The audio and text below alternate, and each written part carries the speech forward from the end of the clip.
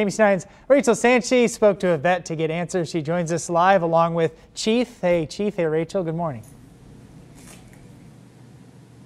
Good morning, Rob. Yes, this is our pup, Chief. And for so many families, our pets really just become another family member. So, when news broke earlier this month about a tiger in a New York zoo that contracted COVID 19, I think for a lot of pet owners, it became really fearful. Zoo officials say that in this case, they believe the tiger was infected by a zookeeper. So it really begs the question could this happen to my pet? It doesn't appear that cats and dogs can readily be infected with the COVID 19 virus. It's understandable to be concerned, but at this time, there's little to no evidence that they can contract the disease, and there's been no evidence that they can transmit it to other pets or to their human owners.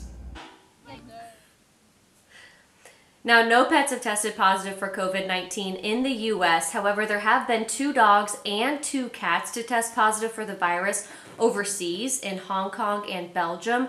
None of them showed signs of the disease except for one cat.